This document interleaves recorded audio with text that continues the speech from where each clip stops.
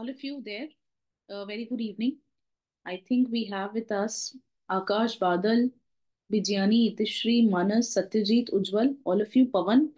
A very good evening, all of you there. Is the Good stream, evening, ma'am. the stream fine? The video is clear? Yes, Yes, ma'am.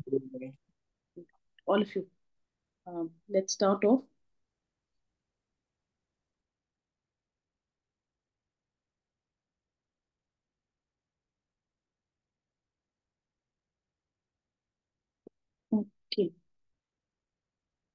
All of you, just allow me one minute, please.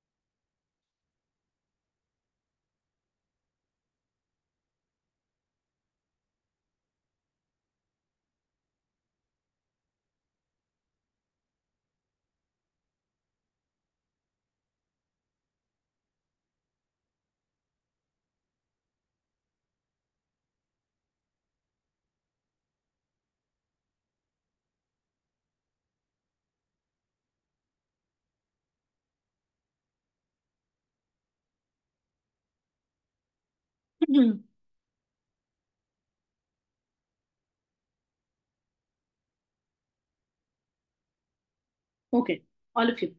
Uh, we started off with the discussion of the perspectives in human geography. हमने phases देखे थे phases में there was the development कैसे हुआ है human geog perspectives in human geography का perspectives in human geography ये बताता है कि geography as a subject कैसे develop हुआ है तो पहले Greeks and Romans फिर Dark Ages फिर Arabs साथ में then you had the uh, stage of voyages exploration there is this pre-classical phase जिसमें Bernard Varanus and yeah Bernard Varanus as well as Immanuel Kant. Then you have the phase of the modern geography. Then you have the phase of the modern geography, Which is about Humboldt and Ritter, Ritter, Darwin. There is regional geography. There is quantitative revolution, behavioral geography, social relevance revolution, etc. And the postmodern geography. तो अगर मैं geography की development की बात करूँ तो I can divide it into various phases. पहले के जो तीन phases हैं जहाँ पे अब तक geography develop ही नहीं हुआ है that is Greeks and Romans, Arabs wala, as well as you have the voyages and exploration वाला stages, ठीक है? यहाँ पे अब तक geography डेवलप नहीं हुआ है। Geography का डेवलपमेंट स्टार्ट होता है with the contribution of Bernard Varanus with the contribution of Bernard Varanus and Immanuel Kant. यहाँ पे ज्योग्राफी डेवलपमेंट होना स्टार्ट तो कर रहा है बट ज्योग्राफी मॉडर्न डिसिप्लिन नहीं है। अब ज्योग्राफी को मॉडर्न डिसिप्लिन कौन बनाता है? You have Humboldt and Ritter there is Darwin which makes it there is work of regional geographers the work is also taken up by Q R फिर behavioural geography है, जिसको critical revolution भी कहते हैं, या रेडिकल रेवोल्यूशन भी कहते हैं। फिर आपका सोशल वेलफेयर वाला एस्पेक्ट आता है। Then you have nineteen seventies में then you have the contemporary geography तो ये फ़र्स्ट फ़ेज़ जो है जोग्राफी डेवलप नहीं हुआ। सेकेंड स्टेज में जोग्राफी डेवलपमेंट होना स्टार्ट हो रहा है बट मॉडर्न नहीं बना है। अब यहाँ पे हम मॉडर्न जोग्राफी ले आएँगे। Is it clear all of you हमने कल कहाँ तक देखा था? What is the last thing that we saw yesterday what is the last thing that we saw yesterday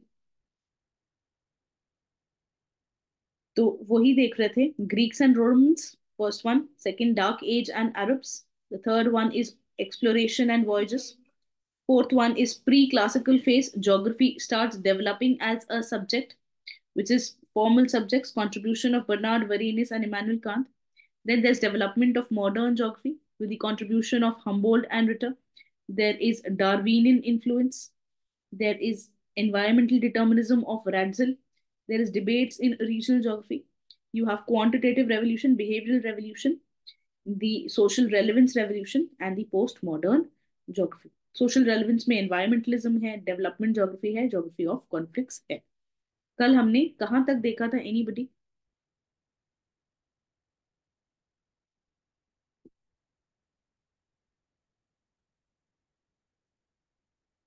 All of you am I audible? Pre classical phase. uh, अच्छा हमने Greeks Romans देख लिया था जिसमें हमने देखा होगा Thales of Miletus Herodotus Plato Aristotle और इरोटनस देख लिया। हमने स्ट्रैबो भी देख लिया टॉलेमी भी देख लिया।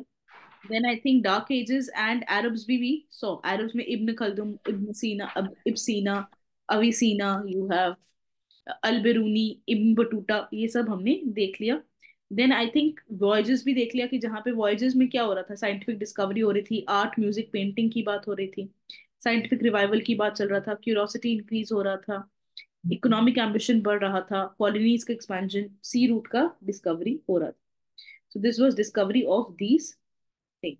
Then we uh, did we start off uh, the problem with this was there's partly factual partly uh, pa- partly inaccuracies were there then we started off with pre-classical geography pre-classical geography में there was bernard Varinus and Immanuel Kant bernard Varinus और Immanuel Kant की हम बात करते हैं we started off that इन दोनों ने क्या किया इन्होंने ज्योग्राफी एज अ डिसिप्लिन को डेवलप करने की बात की है started developing geography as a discipline geography start developing as a discipline now now the geography as geography is starting being as discipline इसमें इमानुअल कांत का बहुत इंपॉर्टेंट रोल है एंड बर्नार्ड वेरिनिस का भी काफ़ी इंपॉर्टेंट रोल है did we start off with the work of Bernard Varenius Did we start off with the work of Bernard Verinis or not? Yes, ma'am. Yes ma'am तो हमने देखा था Bernard वेरेनिस ने क्या बोला था बर्नार्ड वेरेनिस ने किताब लिखी थी जिसको आप कह रहे हो जोग्राफिया जनरालिस और.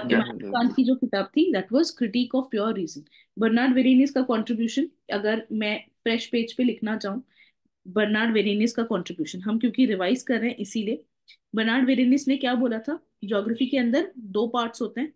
Geography is of two parts one is general geography and the other is special geography. General geography ये जो आपका पेपर वन है मतलब थीम्स को स्टडी करता है। कोई रीजन की बात नहीं कर रहे हैं पर्टिकुलर बट थीम्स को स्टडी करता है। Themes like the earth the size shape of earth the distance of the earth the density of the earth so पूरे अर्थ की बात करता है। So you studying the climate of the earth the landform of the earth ocean uh, oceans on the earth. So you're studying themes. So you're trying to find commonalities आप commonalities ढूंढते हो और आप law बनाते हो। आप theories बनाते हो। If I talk about special geography this is nothing but regional geography this is nothing but it focuses on uniqueness कैसे unique features हैं if I talk about a special geography special geography is about you have to focus on there is no law making there is no theories here तो जो special geography है उसका approach क्या होता है special geography is about special geography is about special geography and general geography तो special geography is about descriptive description करना चाह रहे हैं। It is about description it is also this is also about no law इस approach को हम क्या कहते हैं? ईडियोग्राफिक अप्रोच इसको रीजनल ज्योग्राफी बोलो स्पेशल ज्योग्राफी बोलो ईडियोग्राफिक अप्रोच बोलो। अगर हम जनरल ज्योग्राफी की बात करें general geography is about general geography is about law making general geography is about nomothetic इसका शब्द क्या यूज़ किया था? नोमोथेटिक अप्रोच तो बर्नार्ड वरेनियस के हिसाब से ज्योग्राफी में दोनों आता है। General geography as well as special geography Bernard Varenius से ज्योग्राफी दोनों ज्योग्राफी आती है। और बर्नार्ड वेरिनिस से एक और सवाल जो पूछा गया था, आपके हिसाब से ज्योग्राफी एज पर you geography is what physical geography as well as human geography he says that it is both physical features भी पढ़ेंगे और human features भी पढ़ेंगे but he is more biased but he is more biased towards physical geography ये physical geography की तरफ़ ज़्यादा biased है is it clear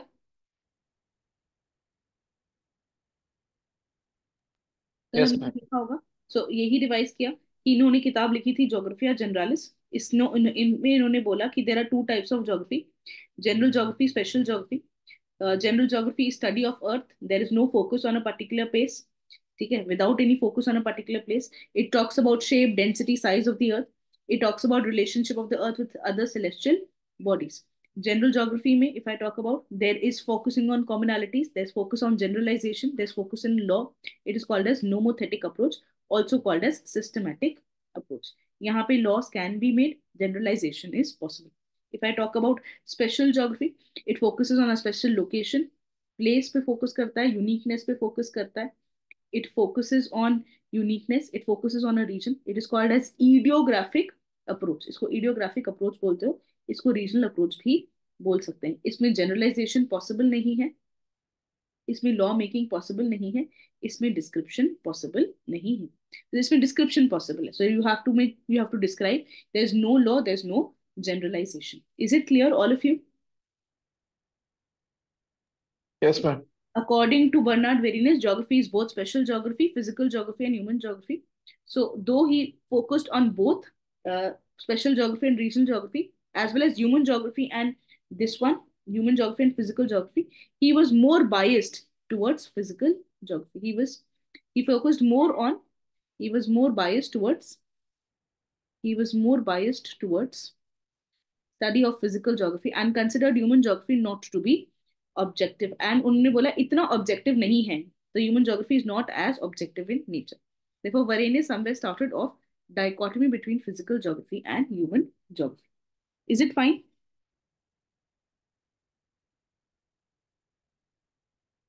वरेनिस ने डाइकोटमी स्टार्ट कर दी थी फ़िज़िकल और ह्यूमन ज्योग्राफी के बीच में। ना बेसिकली अगर मैं ये बात करूँ all of you with me can I move on ma'am. Yes, basically if I talk about जो geography as a subject develop हुआ है वो डेवलप हुआ है डिबेट्स के द्वारा। ज्योग्राफी में डिबेट्स रहे हैं। पहला डिबेट क्या ज्योग्राफी एक सब्जेक्ट बनेगा कि नहीं बनेगा? तो बर्नार्ड वरेनियस और इमानुअल कांत ने उसके लिए आर्ग्यू किया। अच्छा अगर ये सब्जेक्ट बनेगा तो ये पढ़ेगा क्या? What would be the subject matter ये पहला डिबेट था। सेकेंड डिबेट तो सब्जेक्ट मैटर यानी क्या पढ़ें? फ़िज़िकल ज्योग्राफी पढ़ेगी? फ़िज़िकल प्लस ह्यूमन ज्योग्राफी पढ़ें। तो first debate was on the subject matter what will geography study the second debate was on man environment relation क्या मैन सुपीरियर है कि एनवायरमेंट सुपीरियर है? तो आपने पहले बोला कि फ़िज़िकल पढ़ते हैं। फिर बोला कि नहीं फ़िज़िकल और ह्यूमन दोनों पढ़ते हैं। जब आपने आदमी को एंट्री दी, अब आप क्वेश्चन अपने सब्जेक्ट में, आपने आदमी को एंट्री दी अपने सब्जेक्ट में, अब आपके ऊपर दूसरा डिबेट आ जाता है। अगर आदमी और एनवायरमेंट का रिलेशन देखो तो कौन सुपीरियर है? इज़ एनवायरमेंट सुपीरियर और is man superior if you say environment is superior then what is this this is called as मतलब environment is superior environment determines human action. Human action कौन determine करता है? Environment determine करता है। इसको क्या कहते हैं? Environmental determinism. आप कहते हो, नहीं, आदमी आ गया और आदमी सुपीरियर है। यानी एनवायरमेंट तो सिर्फ़ चॉइस दे रहा है। एनवायरमेंट सिर्फ़ चॉइस दे रहा है। आदमी of all the choices possibilities में से अपनी हिसाब से चॉइस लेता है। तो एनवायरमेंट इतनी पॉसिबिलिटीज दे रहा है मैन अपने नेचर के हिसाब से मैन अपने कल्चर के हिसाब से मैन अपनी अपब्रिंगिंग के हिसाब से पॉसिबिलिटीज में से कुछ चॉइसेस चुन रहा है। इसको आप क्या कहते हो? पॉसिबिलिज्म तो पहला डिबेट था सब्जेक्ट मैटर में। फ़िज़िकल ज्योग्राफी पढ़ना है कि फ़िज़िकल प्लस ह्यूमन पढ़ना है? इसमें आपने बोला फ़िज़िकल प्लस ह्यूमन पढ़ना है, इसलिए आज हम ह्यूमन पढ़ते हैं। अब आपने ह्यूमन की एंट्री मारी तो क्या इंपॉर्टेंट है? एनवायरमेंट इंपॉर्टेंट है कि ह्यूमन एनवायरमेंट है? एनवायरमेंट इंपॉर्टेंट है यानी एनवायरमेंट डिटरमाइन करता है एक्शंस को। ह्यूमन एक्शंस को, आदमी के पास चॉइस नहीं है, आदमी पैसिव है एनवायरमेंट डिटरमाइन कर रहा है। उसको कहते हो एनवायरमेंट डिटर्मिनिज्म सेकेंड होता है कि नहीं नेचर में तो बहुत सारी पॉसिबिलिटीज हैं। आदमी अपनी मर्ज़ी से, अपने कल्चर के हिसाब से चुनता है। उसको आप कहते हो possibilism so you have environmental determinism और यू हैव पॉसिबिलिज्म ठीक है? So this was the second debate the third debate is geography क्या है? क्या ज्योग्राफी साइंस है? कि ज्योग्राफी नॉन साइंस है? अगर ज्योग्राफी साइंस है तो आप इसमें लॉज बनाओ मैथ्स बनाओ मैथ्स का यूज़ करो। बट अगर ज्योग्राफी नॉन साइंस है तो आप इसको डिस्क्रिप्शन तक ही रखो। जैसे हिस्ट्री को डिस्क्रिप्शन तक रखते हो, इस सब्जेक्ट को भी डिस्क्रिप्शन तक ही रखो। So what is geography is geography science और is geography social science that was the third debate if I talk about the fourth debate fourth debate जब आया था 1970s में आया था कि ज्योग्राफी पढ़ ही क्यों रही हूँ क्या ज्योग्राफी एकेडमिक पर्पस के लिए पढ़ रही हूँ सिर्फ़ कि ज्योग्राफी का कोई सोशल पर्पस भी है does geography also have some social purpose and the fifth is what is the scale of study should i study geography at a regional scale छोटे scale पे or should i study geography at a thematic scale तो मेरे subject को develop करते करते कुछ debates आए क्या पढ़ें मैन अगर पढ़ रहे हो तो मैन सुपीरियर है कि नहीं है? कैसे पढ़ें? रीजन के हिसाब से पढ़ें कि पूरी थीम के हिसाब से पढ़ें? ये पढ़ ही क्यों रहे हो? एकेडमिक के लिए पढ़ रहे हो कि सोशल वेलफेयर के लिए पढ़ रहे हो? और पांचवा ये साइंस है कि नॉन साइंस है। अब अगर साइंस है तो लॉ बनाओगे? अगर नॉन साइंस है तो सिर्फ़ डिस्क्राइब करोगे। समझ आया? पाँच डिबेट कौन से हैं? क्या पढ़ें? आदमी बड़ा है कि नहीं? कैसे पढ़ें? साइंस है कि नॉन साइंस है? और क्या ये इसका कोई पर्पस भी है? या ऐसे ही अकेडमिक डायरिया है। All of you clear yes ma'am ये जो पहला डायकोटमी था फ़िज़िकल वर्सेस ह्यूमन का ये समवेयर वरेनियस ने स्टार्ट किया। वरेनियस कह रहा था कि दोनों टाइप का ज्योग्राफी पढ़ेंगे रीजनल ज्योग्राफी भी पढ़ेंगे जनरल ज्योग्राफी भी पढ़ेंगे एंड फ़िज़िकल ज्योग्राफी भी पढ़ेंगे ह्यूमन ज्योग्राफी भी पढ़ेंगे. But he was more biased towards he was more biased towards physical geography that is what we had written is more biased towards physical geography and he said that we will study both general geography and regional geography the second person the second person dichotomy और dualism में difference क्या है? Dichotomy means dualism का मतलब होता है that the two viewpoints, the two viewpoints exist simultaneously. साथ साथ एग्जिस्ट कर सकते हैं। They exist simultaneously and they are they exist simultaneously and parallelly दोनों चल सकते हैं। जैसे अब ज्योग्राफी में फ़िज़िकल ज्योग्राफी भी है ह्यूमन ज्योग्राफी है। तो ये डुअलिज्म है। Both of them are existing and both of them are running parallelly dichotomy में क्या होता है? डाइकोटमी में the two viewpoints out of the two viewpoints out of the two viewpoints only one only one is incorporated. या तो physical होगा, या तो ह्यूमन होगा, दोनों नहीं होंगे। या तो स्पेशल ज्योग्राफी होगा, या तो जनरल ज्योग्राफी होगा, दोनों नहीं चल सकते। या तो साइंस होगा, या तो नॉन साइंस होगा, दोनों नहीं बन सकते। समझ आ रहा है? डुअलिज्म डाइकोटमी का क्या मतलब है? दोनों व्यू पॉइंट में से कोई भी एक ही इनकॉर्पोरेट किया जाए। ज्योग्राफी में जनरली हम डुअलिज्म को फॉलो करते हैं कि हम दोनों को बाद में, साथ में इनकॉर्पोरेट करते हैं। ऐसा नहीं बोल सकते कि एनवायरमेंटल डिटर्मिनिज्म ही करेक्ट है पॉसिबिलिज्म गलत। पॉसिबिलिज्म ही सही है एनवायरमेंटल डिटर्मिनिज्म गलत है। No both of them exist alongside each other and it is this dualism that has enriched my subject अगर डुअलिज्म नहीं होता तो मेरा सब्जेक्ट में शायद एक ही व्यू पॉइंट होता और इतना रिच नहीं होता मेरा सब्जेक्ट बट मेरा सब्जेक्ट काफ़ी रिच है क्योंकि उसमें सारी चीज़ों को इनकॉर्पोरेट किया गया है. Is it clear yes ma'am okay so this is dichotomy and dualism समझ आया ना? डाइकोटमी और डुअलिज्म में यानी क्या? दोनों व्यू पॉइंट चल सकते हैं साथ में और जनरली ज्योग्राफी में डुअलिज्म ही होता है। और डाइकोटमी में हम एक ही व्यू पॉइंट मानेंगे सही है। सबको समझा? ठीक है मैम यस मैम अब हम इमानुअल कांत का कंट्रीब्यूशन देखते हैं। Immanuel Kant did we see this also yesterday yes ma'am we've seen this also. ठीक है? तो we've seen Immanuel Kant also.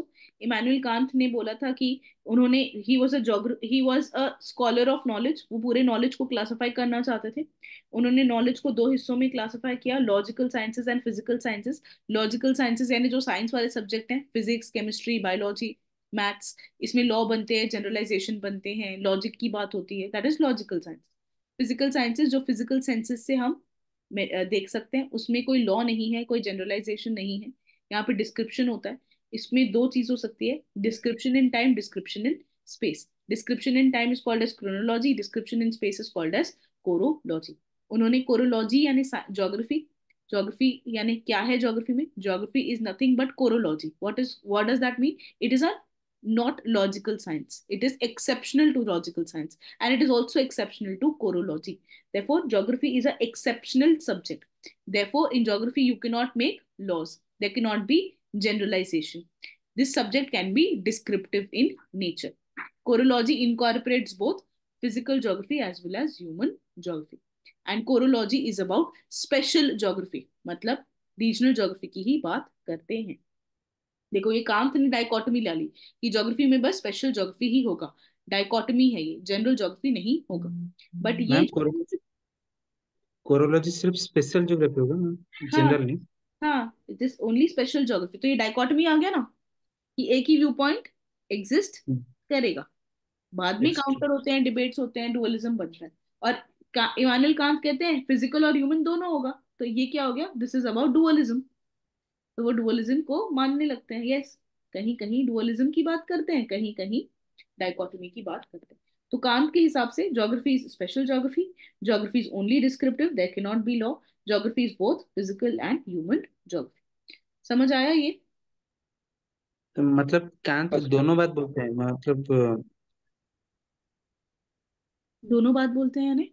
पवन? मैंने डाइकोटमी और डुअलिज्म दोनों को सपोर्ट करते हाँ यस एक किसी चीज़ में वो डुअलिज्म की बात करें किसी चीज़ में डाइकोटमी की बात करें। सब्जेक्ट मैटर जब सब्जेक्ट मैटर का डिबेट है फ़िज़िकल और ह्यूमन में तो वो डुअलिज्म की बात करते हैं कि दोनों ज़रूरी है। बट अगर मैं स्केल ऑफ़ स्टडी की बात करूँ तो वो डाइकोटमी में आ जाते हैं कि नहीं रीजनल ही होगा। तो सब्जेक्ट मैटर के हिसाब से both human and physical but scale के लिए इट इज़ ओनली रीजनल समझ आया? Yes ma'am Yes. ठीक so dichotomy and dualism now so this is what was Immanuel Kant then I think we said that कि ये जो Immanuel Kant का chorology है यही idea same to same idea areal differentiation का दिया था आपके हार्टशोट ने Richard Hartshorne chorology is nothing but Richard Hartshorne areal differentiation areal differentiation क्या है it is basically geography is what is geography is aerial differentiation what is aerial differentiation study of the uh, accurate rational orderly description of the variable character of the earth as ठीक है variable character of the surface of the earth तो आपको rational orderly accurate description करना है of the variable character of the surface of the earth इस किताब का नाम है that is this the name of the book is nature of geography the nature of geography that is given in 1929 ये American geographers हैं he believed that uh, geography is regional geography he agreed that chorological approach of the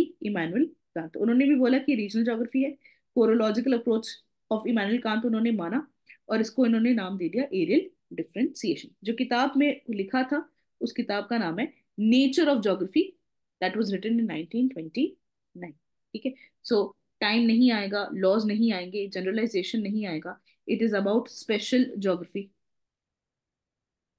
it is about ideographic approach it focuses on uniqueness there is no commonality okay there is no commonality is it clear Yes, ma'am. this was richard hartshorn ठीक है so now making geography as a modern discipline अभी तक हमने चार phase देखे Greek and Romans Arabs, voyages, and then we started off the wo- work of Bernard Berenice and Immanuel Kant. Now we are talking about geography as a modern geography. हम geography को कैसा subject बनाना चाहते हैं modern subject modern subject यानी क्या होता है modern subject मतलब इनएक्यूरेट डिटेल्स जो है वो आप हटाओ the geography should not have inaccuracy geography should be a scientific. ठीक है? साइंटिफिक होना चाहिए और इनएक्यूरेसीज हटा देनी है। तो इसको हम कहते हैं the phase of classical and modern geography if I talk about the there have been contribution of there have been contribution of A V Humboldt and Carl Ritter Alexander Humboldt और Carl Ritter ने सबसे पहले काम किया। दोनों क्या बात करते हैं? हम्बोल्ड और रिटर के कुछ कॉमन व्यू पॉइंट्स हैं और कुछ डिफरेंसेस भी हैं। हम्बोल्ड वही है जिसने हम्बोल्ड करंट डिस्कवर किया है। हम्बोल्ड बेसिकली काफ़ी सारा स्टडी कर रहे थे साउथ अमेरिका के पास। एंडीज को पढ़ा है ग्रासलैंड को पढ़ा है। हम्बोल्ड करंट जो डिस्कवर किया है that is the work of Humboldt तो अब ज्योग्राफी को हम मॉडर्न सब्जेक्ट बना रहे हैं। उसमें दो इंसान काम कर रहे हैं Alexander Humboldt and Ritter modern बनाना यानी क्या? इन को कम करना। तो दोनों दुनिया घूम रहे थे हम्बोल्ड और रिटर हम्बोल्ड का हम्बोल्ड ने किताब लिखी थी जिसका नाम था कॉस्मोस और रिटर ने किताब लिखी थी जिसका नाम था अरकुंडे ठीक है? तो what are they trying to do Humboldt and Ritter are called as the father of modern geography modern geography यानी क्या?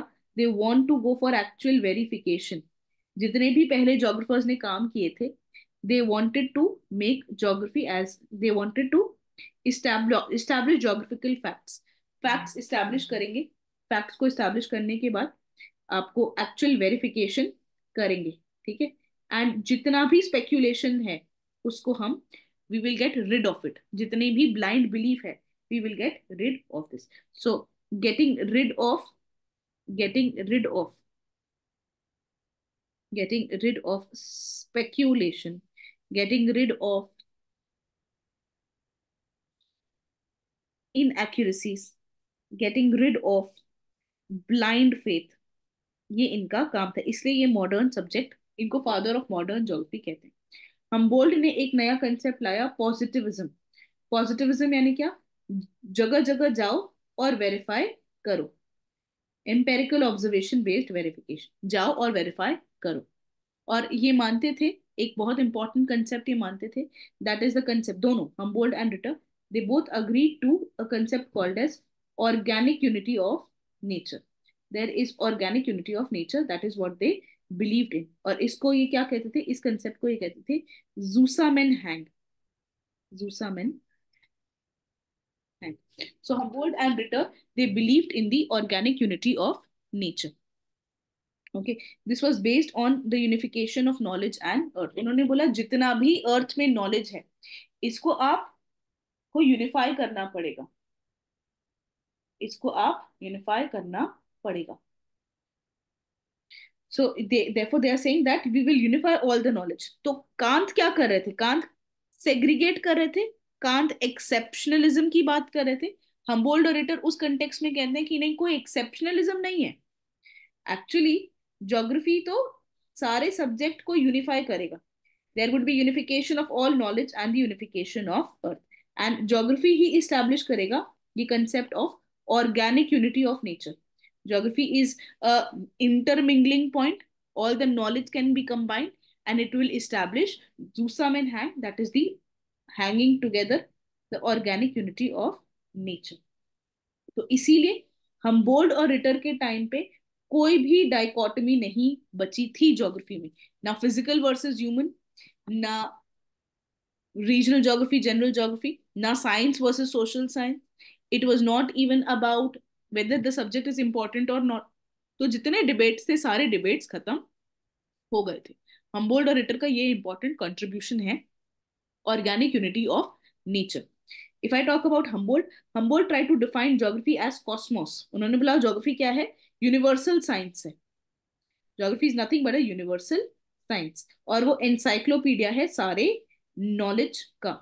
और रिटर ने जिस किताब का नाम लिखा था, उसको बोलते हैं Erdkunde which is also encyclopedia of the earth so geography is a intermingling point geography is a same point unification of all sciences unification of all knowledge geography is nothing but cosmos so there is hanging there is hanging together so there is this was Humboldt and Ritter. So this was the common point of Humboldt and Ritter. This was the common point. This was the common point of Humboldt and Ritter. But then there were some differences also. Humboldt और Ritter में कुछ differences भी थे. क्या differences थे? Humboldt was more in favor of systematic geography. Ritter R से चालू होता है. Ritter was more in favor of regional geography. Humboldt जो है बोल्ड वाले हैं वो सिस्टमैटिक ज्योग्राफी की बात करते हैं and Humboldt was more biased towards physical geography whereas Ritter were most biased towards human geography. तो डाइकोटमी नहीं है बट बायसेस हैं हम्बोल्ड की बायस है फ़िज़िकल ज्योग्राफी की हम्बोल्ड की बायस है towards your what do we say towards the systematic geography ritter is more towards regional geography special geography ritter is more towards human geography so both talked about unification of geography but इनकी degree थोड़ी vary करती थी ठीक है? हम्बोल्ड जो है वो है एनवायरमेंटल डिटर्मिनिस्ट हम्बोल्ड कहते हैं एनवायरमेंट डिटरमाइन करता है ह्यूमन एक्शन को. बट रिटर जो है वो है टीलियोलॉजिकल डिटर्मिनिज्म टीलियोलॉजिकल डिटर्मिनिज्म यानी divine purposes exercises control. It is the divine agency that exercises control. All of you clear with this? Humboldt और रिटर का Yes, समझा? हाँ इन दोनों के पीरियड में डाइकोटोमी नहीं था या डुअलिज्म नहीं था? डाइकोटमी नहीं था. डुअलिज्म तो थे बट डाइकोटमी नहीं geography lost its dichotomy dichotomies nature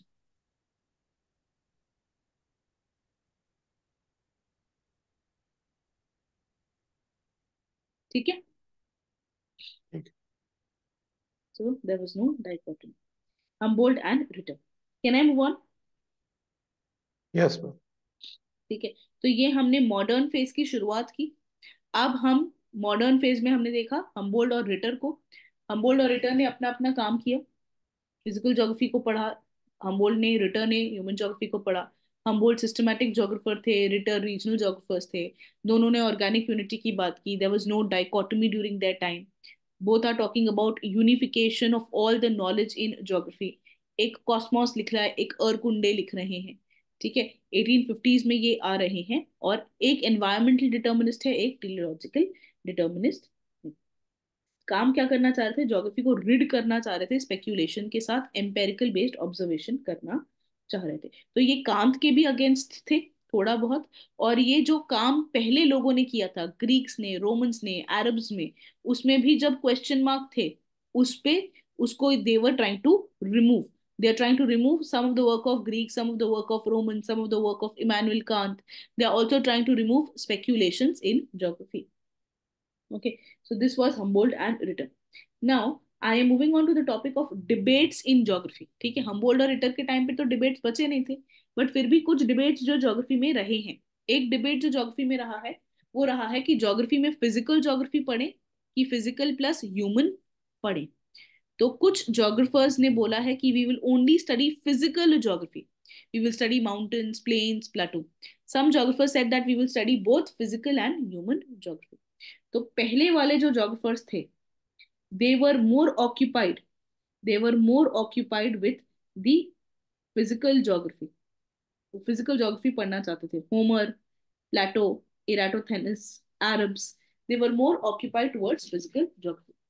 Some of the geographers also studied human aspects जैसे हेरोडोटस ने ट्राइब्स को स्टडी किया इब्न खल्दुम ने भी civilization की बात की so some of them are actually focusing on the work of human philosophers also human geographers also however they were more focused they were more focused towards physical geography than human geography तो हम पहले देख रहे हैं first जो Greek Roman Arabs हैं उन्होंने किस पे ज़्यादा फोकस किया? कुछ लोगों ने फ़िज़िकल पे किया कुछ लोगों ने ह्यूमन पे किया। वरेनियस किस पे तरफ़ ज़्यादा बायस थे? Anybody Varenius was more biased towards ma'am. Varenius was more biased towards physical geography तो बात दोनों की करते हैं human plus physical but he is more biased towards physical तो जब भी ज्योग्राफिकल थॉट में कोई शॉर्ट नोट लिखा है हो सकता है आपको बोले write about the dichotomy and dualism of physical and physical and human geography तो आपको सारा चालू कहाँ से करना पड़ेगा? सारे फेजेस से। ग्रीक्स में अरब्स में रोमन्स में वॉयजर्स के टाइम पे हम्बोल्ड एंड रिटर के टाइम पे वरेनियस के टाइम पे इमानुअल कांत के टाइम पे क्या क्या लोगों ने बातें की हैं। आपको पर्सपेक्टिव्स बताने हैं लोगों के तो आपको पूरे पर्सपेक्टिव्स चालू करने पड़ेंगे एंशियंट टाइम से।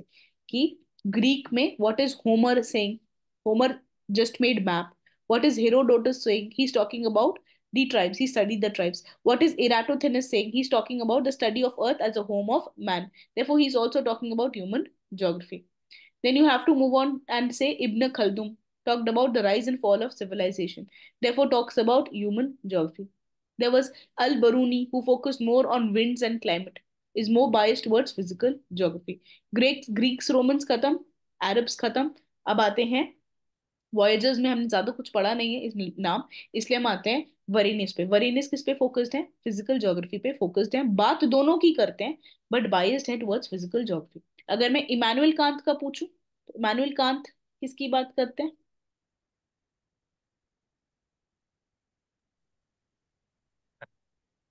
Immanuel Kant focuses on regional Regional. Exceptionalism regional तो है नहीं ना हम डिबेट फ़िज़िकल और ह्यूमन का पढ़ रहे हैं बच्चे। It's talking about exceptionalism. both ma'am both human Yes, ma'am. he's talking he's talking about both. Physical and human geography Immanuel Kant ने क्या बोला था? There is no dichotomy chorology में क्या है? फ़िज़िकल ज्योग्राफी और ह्यूमन ज्योग्राफी रिटर और Humboldt क्या कह रहे हैं? कोई डाइकोटमी नहीं है. ऑर्गेनिक यूनिटी ऑफ़ नेचर है. ठीक है? जूसम एंड हैंग है. Humboldt but Humboldt is more biased towards physical geography बात तो सूजा मेनहा की करते हैं, बात तो ऑर्गेनिक यूनिटी ऑफ़ नेचर की कर रहे हैं। बात कर रहे हैं कि कोई डायकॉटमी नहीं है बट लास्ट में आके बाइस्ड हो जाते हैं। Humboldt is more bias towards physical geography whereas Ritter is more bias towards human geography Humboldt ने क्या क्या स्टडी किया? Humboldt study Andes mountain Humboldt study Peruvian current Humboldt study isotherms Humboldt study steppes तो steppes पढ़ रहे हैं isotherms पढ़ रहे हैं एंडीज माउंटेन पढ़ रहे हैं पेरू का करंट पढ़ रहे हैं। बट और रिटर किसकी तरफ़ ज़्यादा फोकस कर रहे हैं? रिटर फोकस करते हैं ह्यूमन ज्योग्राफी की तरफ़। Over the time the dichotomy of physical geography and human geography got solved. And now what do we have? We have both physical geography and human geography. तो पहले था कि हाँ physical geography majorly important था but बाद में क्या आया? फ़िज़िकल ज्योग्राफी और रीजनल ज्योग्राफी दोनों इंपॉर्टेंट होने लगे।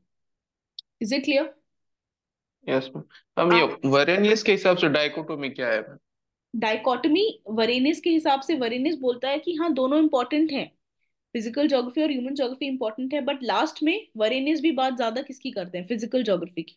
फ़िज़िकल हाँ he is talking about earth he is talking about the shape of earth the size of earth density of earth human की वो बात ही नहीं करते। ठीक है? अगर हम डिबेट्स की बात करें या कोई भी शॉर्ट नोट जब आएगा ना प्रोस्पेक्टिव में तो प्लीज़ आप टाइमलाइन पे ही सोचना। Think about in the term of timeline कि ग्रीक्स क्या बोलेंगे? अरब्स क्या बोलेंगे इसके लिए? ग्रीक्स क्या बोलेंगे? अरब्स क्या बोलेंगे? रोमन्स क्या बोलेंगे? You have, what would be the work of Varenius what would Immanuel Kant remember the terms. Chorology मतलब कांत की बात चल रही है। ईडियोग्राफी मतलब वरेनियस की बात चल रही है। इनके टर्म्स याद रखना, इनके अंदर जो थे। तो idiography nomothetic systematic regional geography ये टर्म्स वरेनियस के हैं। कोरोलॉजी ये टर्म एक्सेप्शनलिज्म ये टर्म कांत का है। अगर हम इसके बाद देखें हम्बोल्ड और रिटर इसमें जूसामेन हैंग है। There is no dichotomy but then last में दे आर ऑल्सो गेटिंग बाइस तो आपको टाइमलाइन की तरह ही सोचना है। Is it clear yes ma'am and word specific words आप याद रखना किसके, कौन से बोले थे। जूसा जूसामेन हैंग कांत में मत बोल के आ जाना। कोरोलॉजी हेम्बोल्ड और रिटर में मत बोल के आ जाना। ठीक है? फिर हम बात करते हैं डिटर्मिनिज्म वर्सेस पॉसिबिलिज्म की। डिटर्मिनिज्म वर्सेस पॉसिबिलिज्म का क्या मतलब है? डिटर्मिनिज्म मींस दैट डिटर्मिनिज्म नाम से समझ आ रहा है। डिटरमाइन कोई एक्सटर्नल एजेंसी है जो ह्यूमन एक्शन को डिटरमाइन करती है। तो आदमी के पास अपना दिमाग नहीं है, आदमी पैसिव है। एक एक्सटर्नल एजेंसी डिटरमाइन करेगी। एक्सटर्नल एजेंसी कौन हो सकती है? गॉड हो सकता है, उसको बोलोगे teleological determinism external agency time हो सकता है, उसको बोलोगे historical determinism external agency environment हो सकता है, उसको आप बोलोगे एनवायरमेंटल डिटर्मिनिज्म तो क्या हुआ? Once the debate of physical geography versus human geography was resolve अब आपने सोच लिया कि हाँ ह्यूमन को लाना है। so once this debate was resolve the next theme of debate the next theme of debate was in human geography अब हम human geography में debate कर रहे हैं कि that of the two man and environment who is more active is man more active or is human more active तो दोनों aspect है मैन और एनवायरमेंट में ज्यादा एक्टिव कौन है is it the environment that determines human response क्या environment determine करता है ह्यूमन रिस्पॉन्स को? और is it the man is it the man that that is independent in choosing the possibilities offered by the environment? तो क्या आदमी superior है और वो अपनी चॉइसेस को सिलेक्ट कर रहा है? Out of the possibilities out of the possibilities acquired by the acquired in the environment तो एनवायरमेंट में जो पॉसिबिलिटीज हैं एनवायरमेंट में जो पॉसिबिलिटीज हैं, उसमें से हम चूज़ करेंगे। और हम को यानी क्या मैन चूज़ करेगा। यानी एजेंसी किसके पास है? कंट्रोल किसके पास है? मैन के पास। और यहाँ पे क्या कहते हैं कि एनवायरमेंट सुपीरियर है एनवायरमेंट के पास चॉइस है।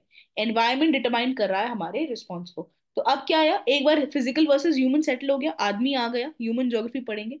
अब डिबेट आता है इज़ मैन सुपीरियर और is environment superior environment is superior is supported by determinism philosophy ये वाला फिलोसफी क्या हो गया?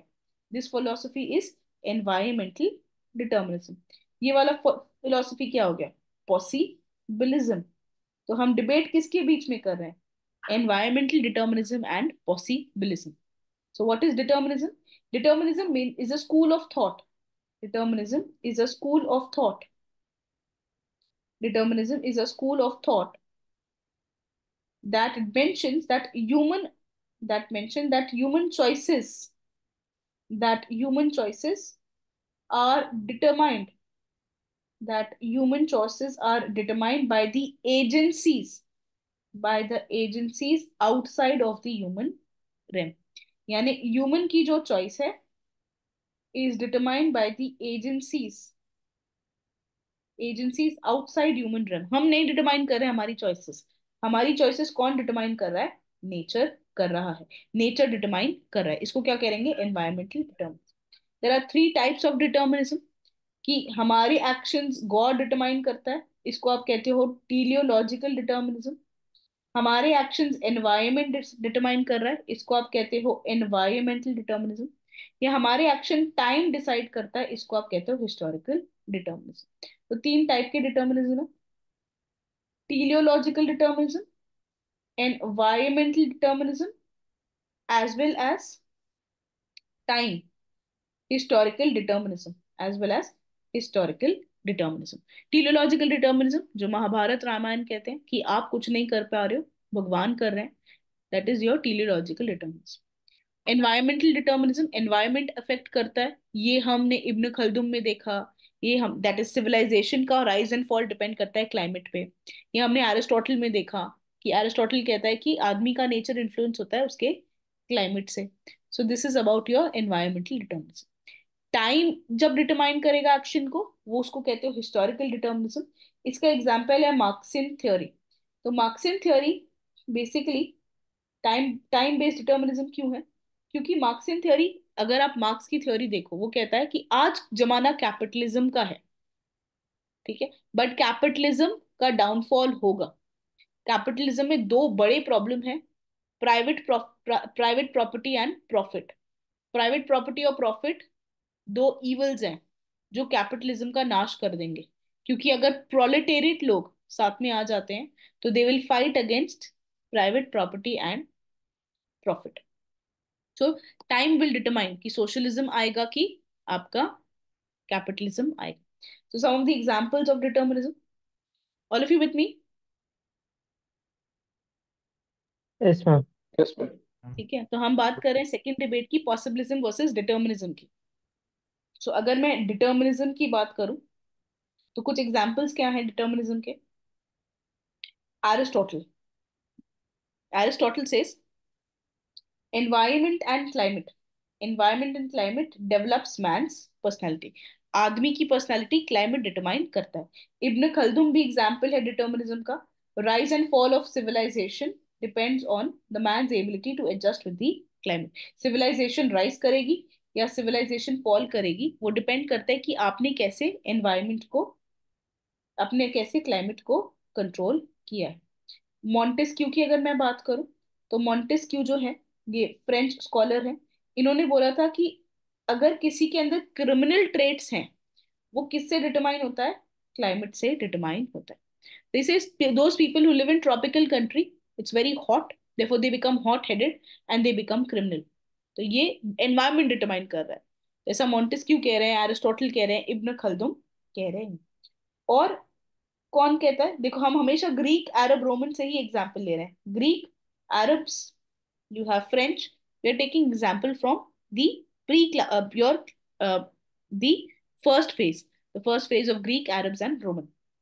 फिर हम आते हैं आपका हम्बोल्ड और रिटर की बात करते हैं। हम्बोल्ड और रिटर में क्या कह रहे हैं हम्बोल्ड और Ritter they believed everything is organic unity of nature तो हम्बोल्ड कैसा डिटर्मिनिस्ट था? एनवायरमेंटल डिटर्मिनिस्ट और रिटर कैसा डिटर्मिनिस्ट था? टीलियोलॉजिकल डिटर्मिनिस्ट तो हम्बोल्ड और रिटर दोनों ही डिटर्मिनिस्ट हैं। एक एनवायरमेंटल डिटर्मिनिस्ट है, एक टेलियोलॉजिकल डिटर्मिनिस्टिक है।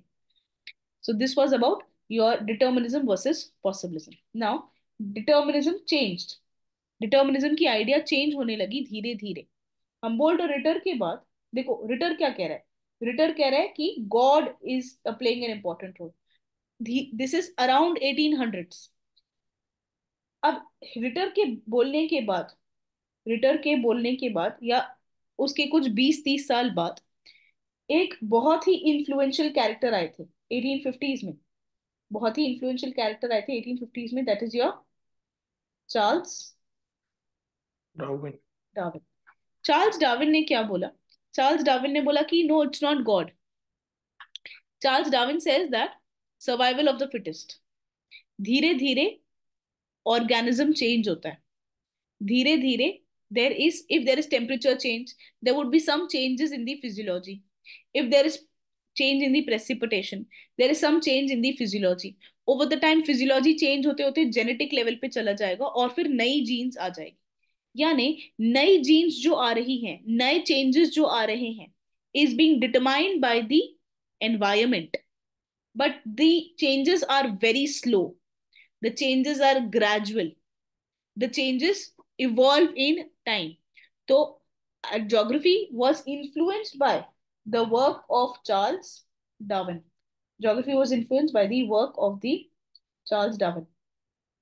What is pre-darwinian idea? Pre-darwinian idea was that everything happens suddenly. God is important. But after darwin what was seen that things happen slowly. Things happen gradually. Things evolve in time. This is a very, very slow process. This is basically struggle and adaptation. There is struggle, there is adaptation. So Darwin क्या बात कर रहे हैं? Darwin is talking about the changes that takes place gradually. The changes, the changes do not go for sudden changes. The changes are slow. There is evolution that is happening.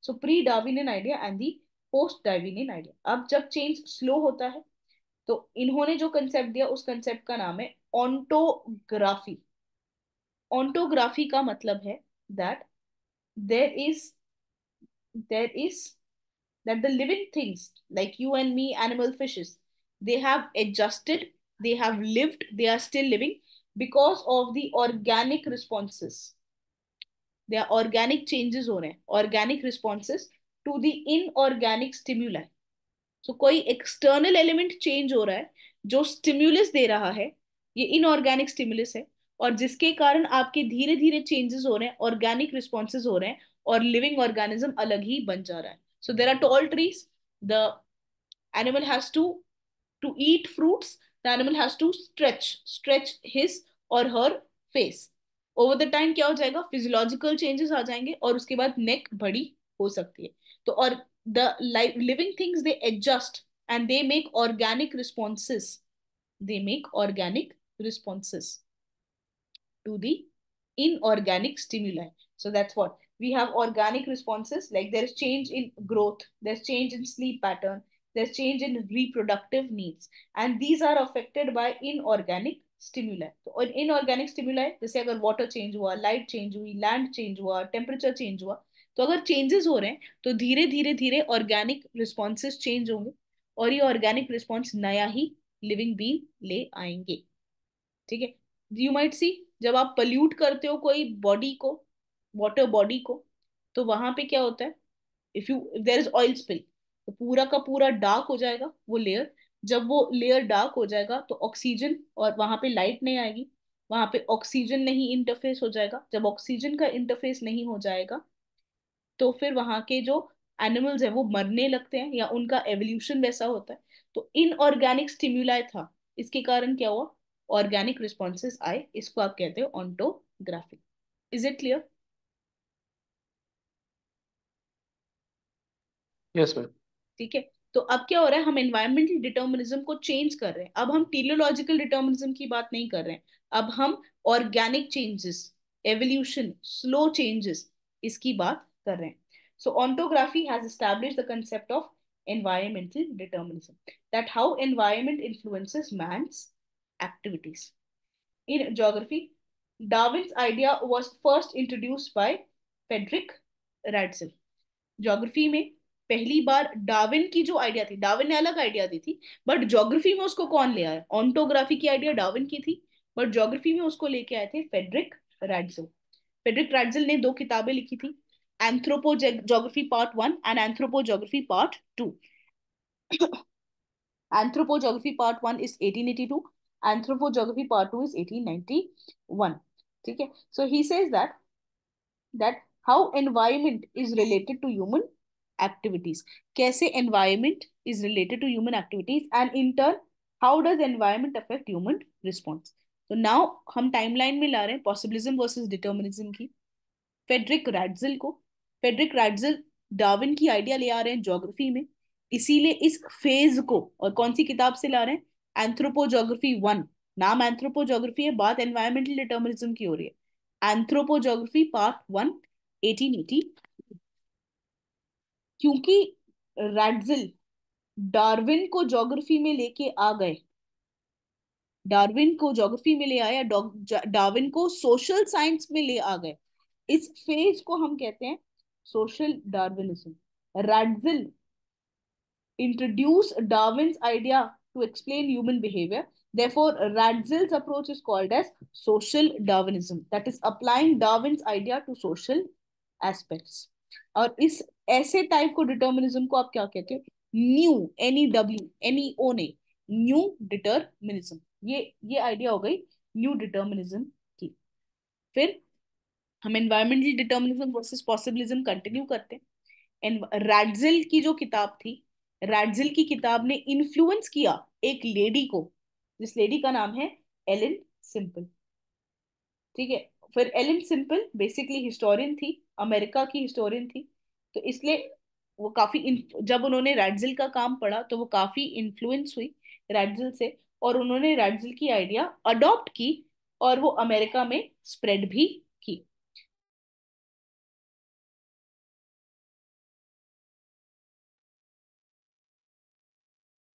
Ellen Simple. She was an American historian and she adopted Radzel's idea and she spread it in America. The books that she wrote was American History and Geography. Historian thi, to American History and Geography ki baat ki. And also she wrote about influences on the environment. Environment ke kya kya influences hote hain. All of you just one minute please.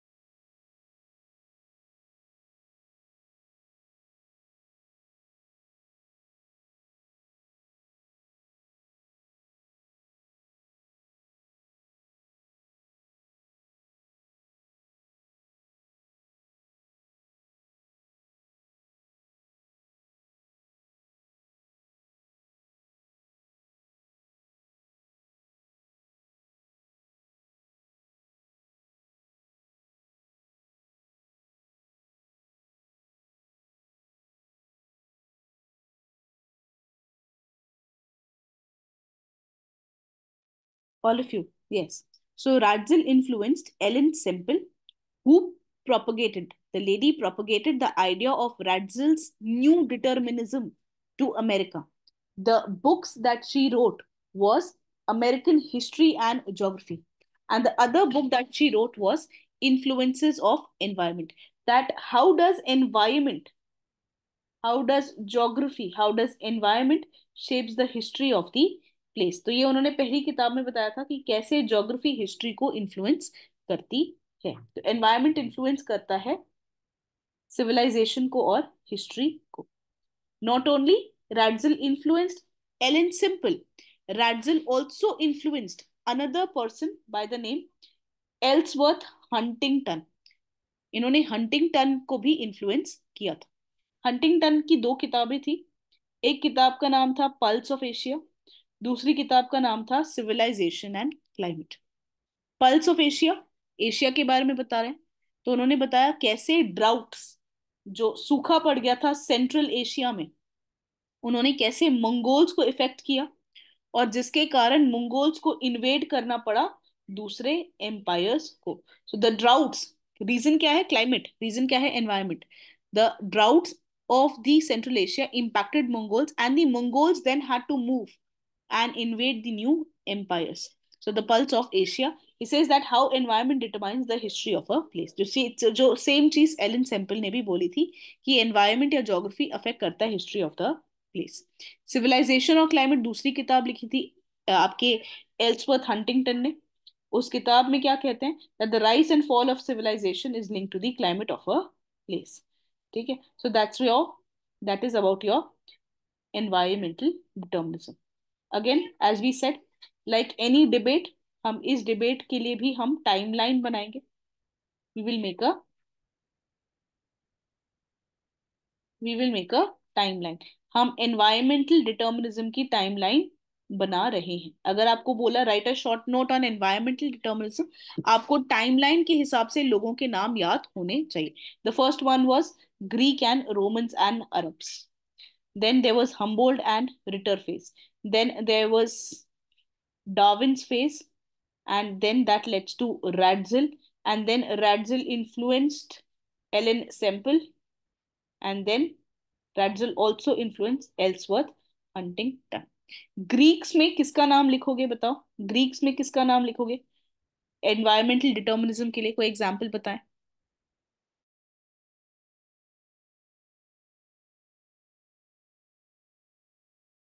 who was an environmental determinist of Greeks. Aristotle. What did Aristotle say? Environment and climate develop man's personality. Very good, Manus. Very good, Manus. Then in Arabs, can you tell me an environmentalism, environmental determinism? Arabs में कौन थे? Ibn Khaldun. Ibn Khaldun. Ibn Khaldun ने क्या बोला? The rise and fall of civilization depends on man's ability to Very, adjust to climate. very, very good. Then you also had one of the French scholar that was Montesquieu. Montesquieu ने क्या बोला? What did Montesquieu say?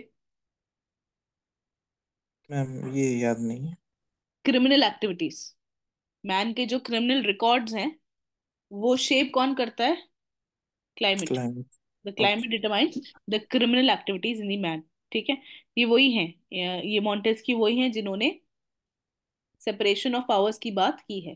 Theory of separation of powers होंगी। Legislature का अलग power रखो executive का अलग judiciary का अलग जो पॉलिटी में पढ़ते हो ये वही मॉन्टेस की है। उन्होंने ज्योग्राफी में भी बात की हम्बोल्ड और रिटर की अगर मैं बात करूँ तो they were also environmental determinist. They were also determinist. Humboldt was humboldt was what and ritter was what? Humboldt was Physical geography. Ritter was a teleological determinist. Uh, हम humboldt physical geography है ठीक है ritter special geography है ठीक है uh, humboldt systematic geography है ritter आपका human geography है वो ठीक है मैं environment और determinism और possibilism की बात कर रही हूँ हम Ritter teleological determinism uh, Ritter was teleological determinist and Humboldt was environment determinist. Darwin ने कौन सा concept दिया? What was the concept that was given by Darwin? ontography Uh, the Darwin gave Darwin gave the concept of ontography. What is ontography? organic uh, st- Inorganic stimuli affects uh, in- organic. affect organic uh, behavior Yes, it affects organic responses that leads to evolution of living things. There is survival of the Right. fittest. the changes are slow the changes are gradual the changes takes time right? ये idea geography में कौन ले आए? इसलिए Ratzel के determinism को क्या कहते हैं? New determinism new N E O नहीं एनई डब्ल्यू या इनके डिटर्मिनिज्म को या क्या इनके फेस को क्या कहते हैं? सोशल डिटर्मिनिज्म ये किताब का नाम क्या था इनकी? Anthropo anthropogeography one Geography. Part one and दूसरी क्या थी? Part two part one. आई थी एटीन 82 एटी टू और दूसरी आई थी एटीन नाइनटी 91 1882 वाली जो किताब है वो बात करती है एनवायरमेंटल डिटर्मिनिज्म की न्यू डिटर्मिनिज्म की सोशल डार्विनिज्म की. और फिर उन्होंने किसको इन्फ्लुएंस किया? एलन सैंपल और एल्सवर्थ हंटिंगटन एलन. सैंपल ने क्या बोला? एलन सैंपल की किताब और एल्सवर्थ हंटिंगटन की किताब। एलन एलन सैंपल थी कौन? Who was Ellen Semple she was an American historian so what book she did she write America's history and geography America's history and geography and influence of environment and उन्होंने क्या बोला? That geography influences the history of a place place दूसरे कौन थे जो influence हुए थे? That was Ellsworth Huntington Huntington की दो किताब का नाम क्या था? Pulse of Asia and civilization and climate pulse of Asia में क्या बोला? कैसे? ड्राउट जो आया था वहाँ पे मंगोल्स इंपैक्ट हुए थे और फिर मंगोल्स ने क्या किया? इन्वेजन कर लिया। और सिविलाइजेशन और क्लाइमेट में क्या बोला था? वही जो इब्न खल्दुम कह रहे थे वही बात जो Ibn rise that the rise and fall of civilization depends on the and is it clear this was the this was environmental determinism one अब दूसरा डिबेट क्या रहेगा? दूसरा डिबेट रहता है पॉसिबलिज्म के ठीक है? तो ये जो रैडजिल है ना इन्होंने दो किताब लिखी थी। रैडजिल की दो किताब थी। एक किताब का नाम था एंथ्रोपोजेग्राफी पार्ट वन. दूसरी थी 1891 में एंथ्रोपोजोग्राफी पार्ट टू ये जो पार्ट वन वाली किताब है, ये बात करती है एनवायरमेंटल डिटर्मिनिज्म की। ये बात करती है न्यू डिटर्मिनिज्म की। ये बात करती है सोशल डार्विनिज्म की। बट ये जो दूसरी वाली किताब है, ये बात करती है opposite of environmental determinism that is ये बात करती है पॉसिबिलिज्म की। तो दूसरी वाली किताब पॉसिबिलिज्म का स्कूल को इन्फ्लुएंस करती है। तो जो दूसरी किताब है, उसके बारे में थोड़ा ढंग से देखते हैं। The second book anthropogeography part two that was written in 1892 this is Ratzel's book he tells that क्या बात करते हैं? व्हाट डज रैडजिल से he says that as man migrates says man migrates and when man migrates he says man migrates and when man migrates he carries with himself the culture man migrate करता है जहाँ से भी man migrate करेगा suppose you migrate from India to USA you will carry your culture along with yourself so even if you migrate to us you are taking indian culture along with yourself. And therefore now when you interact with america or now when you interact with american landscape or america's anything your choices would would be determined by your culture. It says that when man migrates while migrating man carries his culture. And this is this culture that impacts that how does the man interact with the environment so who is playing an important role is environment playing an important role or man's culture playing an important role Man's culture. Man's culture man's culture so क्या है possibilities जो भी American environment में मिल रही है उसमें से कुछ पॉसिबिलिटीज आप चूज़ करोगे अपने कल्चर के हिसाब से so volume two of anthropogeography is entirely opposite in theme as compared to volume 1. Radzil says that culture plays an important role in influencing man's choices. So, who- culture influences man's choices, and his interaction with the environment becomes a basis of a new concept called as cultural landscape. तो रैडजिल कहते हैं culture influence करता है man की choices को और इसके कारण एक नया कंसेप्ट भी आता है, जिसको आप कहते हो कल्चरल लैंडस्केप को। कल्चर इन्फ्लुएंस करता है कि मैं कौन सी पॉसिबिलिटीज पिक करूँगी, कौन सी अपॉर्चुनिटीज़ पिक करूँगी बाय दी एनवायरमेंट ठीक है? सो डिटर्मिनिज्म से हम जा रहे हैं पॉसिबिलिज्म की तरफ़। पॉसिबिलिज्म को भी किसी, किसने इन्फ्लुएंस किया है? वही पर्सन है रैडजिल और उनकी किताब है anthropogeography part two so possibilism it is an antithesis possibilism क्या है it is an antithesis to determinism it means that man environment relation is not dictated by the environment.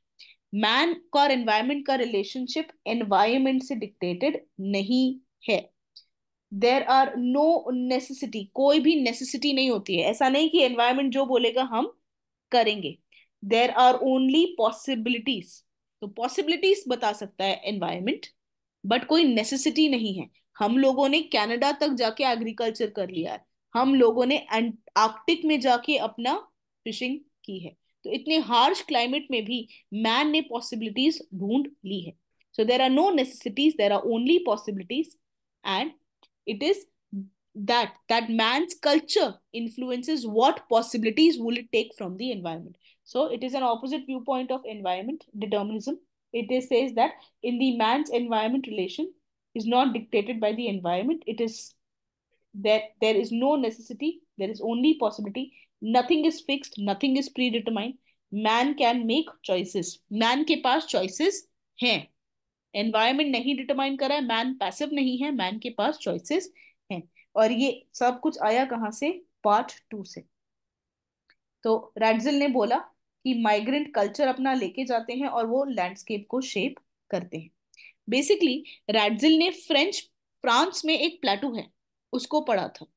और प्लेटू सेम था मतलब प्लेटू में climate भी nearly same है, यहाँ का क्लाइमेट सेम है। पार्ट ए है, ये पार्ट बी है। इसका भी फिजियोग्राफी सेम है, इसकी भी फिजियोग्राफी सेम है। बट ए में फ्रेंच लोग रहते थे और बी में स्पेनिश लोग रहते थे। तो देखा गया कि ये वाले ए रीजन में अलग क्रॉप उगने लगे बी वाले रीजन में अलग क्रॉप उगने लगे। जब क्लाइमेट सेम है सॉइल सेम है फ़िज़िकल सेटिंग सेम है फिजियोग्राफी सेम है तो अलग क्लाइमेट अलग क्रॉप क्यों ग्रो हो रहे हैं? अलग क्रॉप इसलिए ग्रो हो रहे हैं क्योंकि ऐसा नहीं कि एनवायरमेंट ने कहा है। इसीलिए ग्रो हो रहे हैं कि कल्चर जो है, वो बहुत इंपॉर्टेंट रोल प्ले करता है कि मैन कौन सी मैन एनवायरमेंट के साथ कैसे इंटरैक्ट करेगा so culture plays a very important role so here you will have a crop a you will here you will have crop b it is because here there have been french population here there have been social your spanish population so it is the culture that determines it is the culture that determines human actions is it clear so कोई necessity नहीं है कोई obligation नहीं है possibilities हैं और वो possibilities हम अपने कल्चर के हिसाब से ले रहे हैं। समझ आया? पॉसिबिलिज्म के रूट्स कहाँ से आ रहे हैं? Yes, ma'am. Yes, ma'am. Migrants, migration mainly.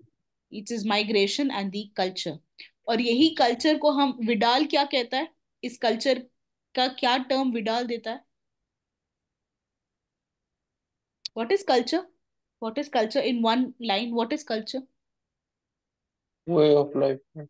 It is way of life इस वे ऑफ़ लाइफ को विडाल क्या कहते हैं? Genre DV Vidal calls them as genre DV तो रैडजिल ने आइडिया डेवलप की। विडाल इसको कैरी फॉरवर्ड किए। वहाँ पे एलन सेम्पल और हंटिंगटन थे ठीक है? एनवायरमेंटल डिटर्मिनिज्म में। यहाँ पे विडाल है। तो विडाल ने एक स्कूल ऑफ़ पॉसिबिलिज्म को इस्टेब्लिश किया। इनकी किताब का नाम था प्रिंसिपल ऑफ़ ह्यूमन जोग्राफी और बाकी लोगों ने भी काम किया स्कूल में। Lucien Febvre and Martonne even if you don't remember this name it's fine Vidal का नाम याद रखना principle of human geography and उन्होंने पॉसिबिलिज्म का स्कूल स्टार्ट किया। पॉसिबिलिज्म का मेन थीम क्या है? मेन थीम बन गया फ्रेंच जोग्राफी का। फ्रेंच स्कूल का। ये फ्रेंच स्कूल जो था, उसकी मेन थीम आपकी पॉसिबिलिज्म बन गई। अमेरिका में एनवायरमेंटल डिटर्मिनिज्म हो रहा था फ्रेंच स्कूल में आपका पॉसिबलिज्म हो रहा था। It is the French school where possibilism became a main theme which was then later adopted by American school also under the influence of Carl Sauer तो अगर हम पॉसिबलिज्म में नाम देखें तो रैडजिल का part two of anthropogeography you have Vidal French school में possibilism लाया है। यू हैव अमेरिकन स्कूल में जो पॉसिबलिज्म लाए हैं, उनका नाम है कार्ल सॉर और कार्ल सौर का कंसेप्ट क्या है? कार्ल सॉर का कंसेप्ट था कल्चरल लैंडस्केप एक और अमेरिकन स्कूल में जो लाए हैं possibilism the name has been the name was human ecology वाला जिसने कंसेप्ट दिया था I am forgetting the name Carl Sauer and Harlan Barrows Harlan Barrows तो Harlan Barrows Vidal de la Blache Vidal de la Blache Carl Sauer और Harlan Barrows के बारे में अब हम पढ़ेंगे। पॉसिबिलिज्म में we will go for this ठीक है? So please listen to this that Vidal ने क्या बोला और बाद बाद में क्या बात हुई? So first we are going for Vidal de la Blache school Vidal de la Blache कौन थे? Vidal de la Blache was a French scholar इन्होंने French he was a French scholar इनकी किताब का नाम था प्रिंसिपल्स ऑफ़ ह्यूमन ज्योग्राफी कब लिखी थी? 1920 में लिखी थी। Vidal was influenced by Ratzel's anthropogeography part two So Vidal, 1920, French school, was influenced by Radzel's Anthropogeography Part 2. Vidal wrote a book, Principles of Human Geography. Vidal ne kya bola? That the environment is modified by the way of life. जैसे French plateau was modified by the culture, by the culture that the migrants can carry. So Vidal mentioned that this way of life is called as genre vie so this is nothing but a French French word for culture so Vidal mentioned genre de vie plays a very important role genre de vie बहुत important role play करता है and culture can be studied only at a smaller scale ये छोटे scale पे हम culture को पढ़ सकते हैं तो क्या बोल रहे हैं what is Vidal saying that environment is influenced by what environment is influenced by culture environment is influenced by genre dv now if i have to study the culture and its impact on the environment i repeat if i have to study the culture and its impact on the environment, I will have to study at a small scale. I will have to study at a small scale. And what are these small scale called as? They are called as space. So he says that that culture can only be studied at a smaller scale and they are studied at the level of a village which he calls as the base so he said culture can be studied only at the at a small place.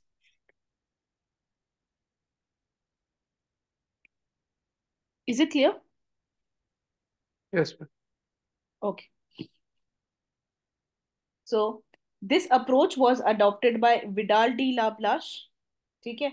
The focus अब Vidal de la Blache ने क्या बोला कि culture influence करता है environment के साथ।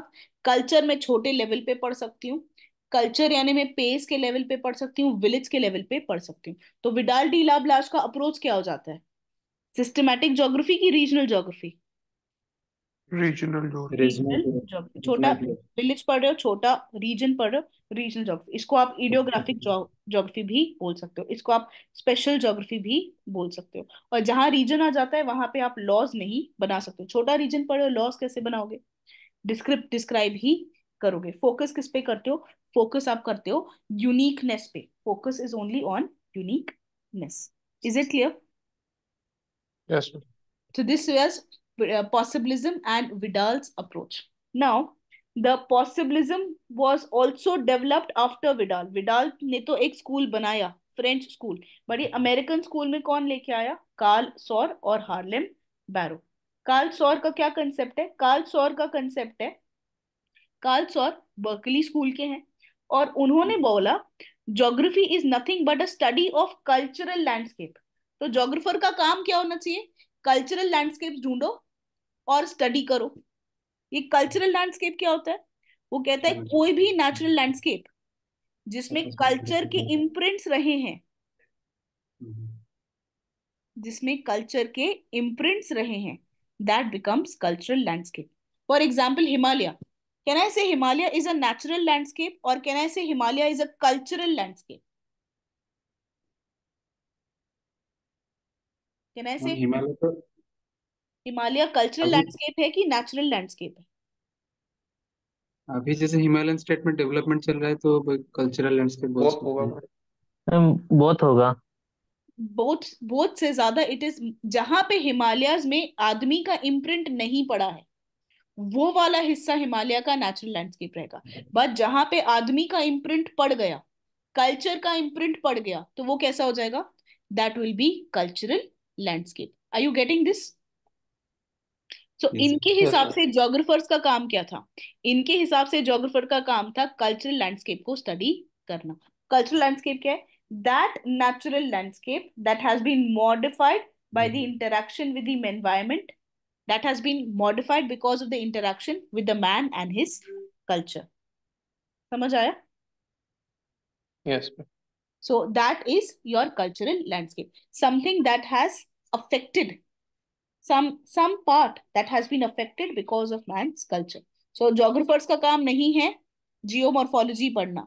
Geographers का काम है कल्चरल लैंडस्केप को स्टडी करना, ठीक है? So unlike Immanuel Kant Immanuel Kant क्या कह रहे थे? कि टाइम का कोई रोल नहीं होता है। कार्ल सोर कहते हैं टाइम का और हिस्ट्री का बहुत इंपॉर्टेंट रोल रहता है कल्चरल लैंडस्केप में। आज ये लैंडस्केप में दूसरे लोग के कल्चर आ रहे हैं तो दूसरी पॉसिबिलिटीज ढूंढ रहे हैं। आज यहाँ पे दूसरे लोग के कल्चर आके रह रहे हैं हिस्ट्री में चेंज हुआ तो दूसरी पॉसिबिलिटीज ढूंढ रहे हैं। आज यहाँ पे थर्ड टाइप के लोग आए तो वो थर्ड पॉसिबिलिटीज देख रहे हैं। A very simple example would be if I talk about Himalayas, if that gets occupied by the people who go for grazing, then they would see Himalayas as a rich टेम्प वहाँ पे Himalayas के temperate grasslands को utilise करेंगे। किसी को अगर trade routes बनाने में इंटरेस्ट है तो वो हिमालयस की एक्सेसिबिलिटी पे ध्यान देंगे। किसी को अगर हिमालयस में इंडस्ट्री बनाना है तो हिमालयस के रिसोर्सेज पे ध्यान देंगे। हिमालयस में रिसोर्सेज भी हैं हिमालयस में एक्सेसिबिलिटी का भी इशू इस एक्सेसिबिलिटी की भी बात है, और हिमालयस में ग्रासलैंड भी है। बट मैं क्या देखती हूँ, ये मेरे कल्चर पे डिपेंड करता है। That is the concept of cultural landscape a natural landscape that has been modified because of the interaction with the man and his culture. And time plays an important role history plays an important role is it clear Yes, so this is the idea of possibilism then possibilism was also talked about was also mentioned by harlem barrow harlem barrow ने भी possibilism की बात की थी इनका जो concept था इनका कंसेप्ट था ह्यूमन इकोलॉजी का ठीक है तो ह्यूमन इकोलॉजी का कंसेप्ट दिया था इन्होंने इकोलॉजी यानी क्या study of environment human ecology यानी क्या? स्टडी ऑफ़ ह्यूमन एनवायरमेंट तो वो ये कहते हैं जैसे इकोलॉजी में एनवायरमेंट पढ़ते हो वैसे ज्योग्राफी को ह्यूमन एनवायरमेंट को पढ़ना चाहिए। So state study of man's environment and his relationship like the study of ecosystem तो इंटरकनेक्शन इंटरलिंकेजेस के हिसाब से हमें पढ़ना चाहिए। All of you are you getting this. Yes, ma'am. Okay so this is about your this one now फिर वही बात आ जाती है। आप मुझे बताओ क्या एनवायरमेंटल डिटर्मिनिज्म करेक्ट है कि पॉसिबिलिज्म करेक्ट है? मैम दोनों Correct. दोनों दोनों करेक्ट है। अब मुझे बताओ अगर मैं बोलूँ दस टाइम अगर मैं टेन केसेस लू तो दस केसेस में से नौ बार या एक बार तो ज़्यादा पॉसिबिलिटी किसकी है? एनवायरमेंट डिटरमाइन करने की पॉसिबिलिटी है कि पॉसिबिलिटी पॉसिबिलिज्म की ज़्यादा पॉसिबिलिटी है? यानी क्या नौ बार एनवायरमेंट डिटर्मिनिज्म जीतेगा या पॉसिबिलिज्म जीतेगा? यहाँ पे पॉसिबिलिज्म जीतेगा कि एनवायरमेंटल डिटर्मिनिज्म जीतेगा? बताओ। ज़्यादा तो मैम एनवायरमेंटल डिटर्मिनिज्म होगा इसमें in 9 out of 10 cases environment determinism in only in 1 out of 10 cases possibilism operates. तो आदमी के पास चॉइसेस हैं बट उस चॉइसेस में भी अपर हैंड किसका है? एनवायरमेंट का है। यस उस चॉइसेस में भी अपर हैंड एनवायरमेंट का है। तो इनका जो मिडिल पाथ है एनवायरमेंटल डिटर्मिनिज्म और पॉसिबिलिज्म का जो मिडिल पाथ है is is is reconciled is reconciled by a new concept called as neo determinism ये किसने दिया था? एक ऑस्ट्रेलियन जोग्राफर ने दिया था। ये एक ऑस्ट्रेलियन जोग्राफर ने दिया था, जिसका नाम है ग्रिफिथ टेलर ठीक है? This is Griffith Taylor so middle path between environmental determinism and possibilism was by Griffith Taylor which is called as stop and go determinism तो एक तरफ़ एनवायरमेंटल डिटर्मिनिज्म है, जो कहता है मैन पैसिव है। मैन एक्टिव नहीं है। मैन के पास चॉइसेस नहीं है। एनवायरमेंट इनको इन्फ्लुएंस करता है। एनवायरमेंटल डिटर्मिनिज्म एक तरफ़ है पॉसिबलिज्म जहाँ पे ये कहते हैं कि नहीं नेचर तो ठीक है पॉसिबिलिटीज हम अपने कल्चर के हिसाब से चुनते हैं। दोनों ही एक्सट्रीम्स हैं। The right one is neo N E O determinism which was given by Australian geographer Griffith Taylor. And he says that there is this determinism was also called as stop and go determinism. तो इसका reconcile कैसे हुआ तो Griffith Taylor ने acknowledge किया कि हाँ man के पास चॉइसेस है man can choose but man randomly choose नहीं करता है मैन अपना फर्टिलाइज़र कभी भी बंजर ज़मीन पे नहीं लेके जाएगा क्योंकि उसको पता है कि बंजर ज़मीन में कितना भी फर्टिलाइज़र डालू चीज़ें उगेगी नहीं So man does not choose randomly. Man does not carry fertilizer to the barren soil. Okay.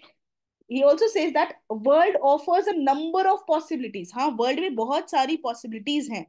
But in much of the world, the conditions are not favorable. World में possibilities हैं but restrictions भी हैं. Extremes of climates हैं. Resources limited हैं. Agriculture की potential की limit है. तो मैन को इन्हीं लिमिट्स के अंदर काम करना है the choices that a man makes are within are are within what is most manageable आप डेनमार्क में एक्सट्रीम क्लाइमेट के बैरन सॉइल में फर्टिलाइज़र ले भी जाओगे तो एग्रीकल्चर नहीं कर पाओगे तो मैन के पास चॉइस है बट वो चॉइसेस में अपर हैंड एनवायरमेंट का है man has to operate within what is manageable within what is most beneficial and therefore man can rarely escape the limits of the environment while he is making a choice it's like mother you know that your mother says you can do everything but except for one two three four आप ये चार चीज नहीं कर सकते तो आपको freedom तो दिया है बट एक अपर हैंड मदर का होता है कि सब करो बट ये चार चीजें मत करो so who is more influential environment is more influenced because the choices are restricted and we have to operate within that limited restriction. I will not say that man is a slave to environment, no. But if we do not pay attention to the environment, there is risk of facing disasters. So what do we call this as? We call this as pragmatic possibilism. ठीक है? तो neo determinism है stop and go determinism है, इसको आप pragmatic possibilism भी कहते हैं। Man can redirect nature but nature के नॉट डिसअपियर तो हमें स्टॉप एंड गो डिटर्मिनिज्म बताता है कि एनवायरमेंट सुपीरियर है। मैन के पास पॉसिबिलिटीज हैं but the possibilities but the possibilities are between those given by the the limits of the nature है ना? तो एनवायरमेंट ने लिमिट्स सेट की हैं और हमें उसी लिमिट्स के अंदर ऑपरेट करना पड़ेगा।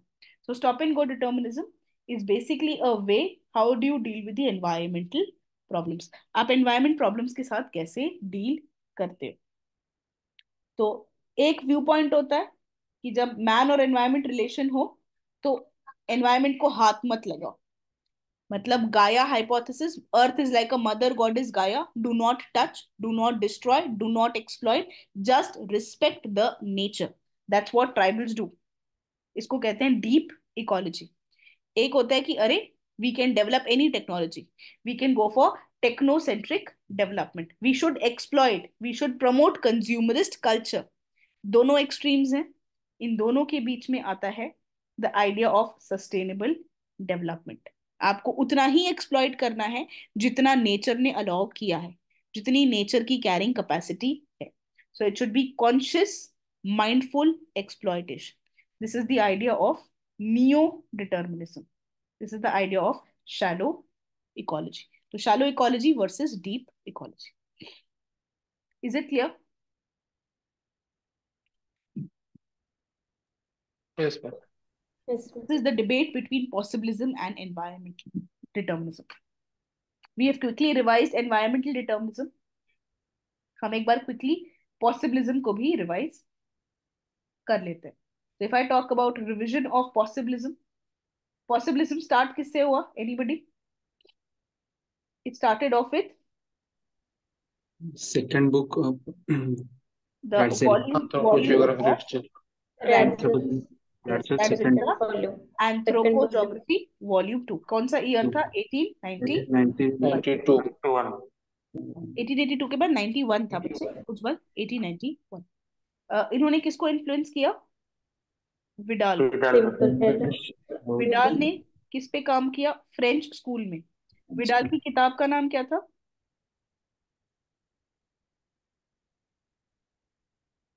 principles of human human geography के क्या प्रिंसिपल्स हैं?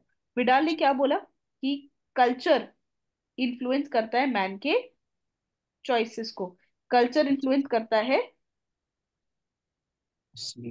पॉसिबिलिटीज को। ये जो कल्चर है इसको आप छोटे छोटे विलेज के लेवल पे पढ़ सकते हो। कल्चर को उन्होंने क्या कहा था? Genre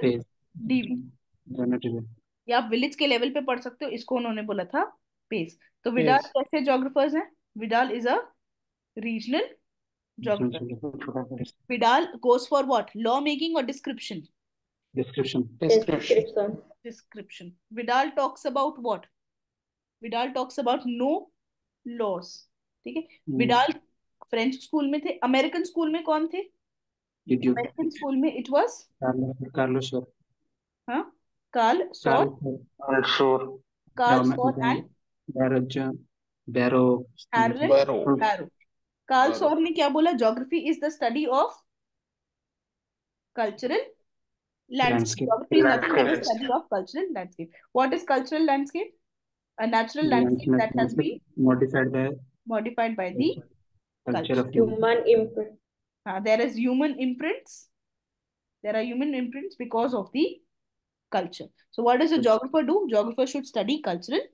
landscape okay what is Harlan Barrows उन्होंने बोला ह्यूमन इकोलॉजी है.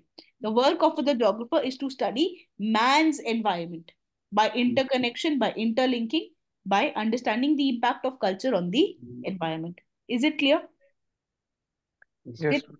इसके बाद आया एनवायरमेंट के बाद आया नियो डिटर्मिनिज्म किसने दिया था? Neo determinism Griffith Taylor Griffith Taylor इसको और क्या कहते हैं? स्टॉप एंड गो ये क्या कहता है कि मैन के पास चॉइसेस हैं? हाँ है।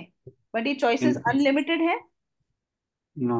ये अनलिमिटेड नहीं है। चॉइसेस किसके लिमिट में है? Limit by set by the environment is man a slave no man is not a slave but the limits are operated by the environment can can man control the environment yes to a limited extent can environment disappear no the environment will not disappear who has a upper hand in 9 out of 10 classes chances environment has the environment. man cannot carry fertilizer to the barren soil and much of the world has much of the world has extreme climates much of the world has un the pro, not so productive agriculture they have harsh topography ठीक है तो ये हमारे लिए क्या important हो जाता है कि हमें नेचर का कैरिंग कैपेसिटी पता होना चाहिए। और ये काफ़ी सारों के लिए सोल्यूशन होगा इन डीलिंग विथ एनवायरमेंट क्योंकि एनवायरमेंट के साथ डील करने के लिए दो अप्रोचेस हम तीन अप्रोचेस हम लगाते हैं। क्या एनवायरमेंट को हाथ मत लगाओ एनवायरमेंट मदर गॉडेस गाया है। That is called as deep ecology environment को आप कुछ भी कर सकते हो that is your technocentric approach exploitative ठीक है? Not respecting the environment consumerist culture protect करते हो और बीच वाला क्या आता है shallow ecology shallow ecology is about sustainable ठीक है all of you I'll do one thing. I'll keep the class up to here. Rest tomorrow we will complete it all. ठीक है? All of you there? Yes, ma'am. Okay. Yes, ma'am PDF share कर देना इसका. Yes, yes. I'll do that. I'll do that. ठीक है? Okay then.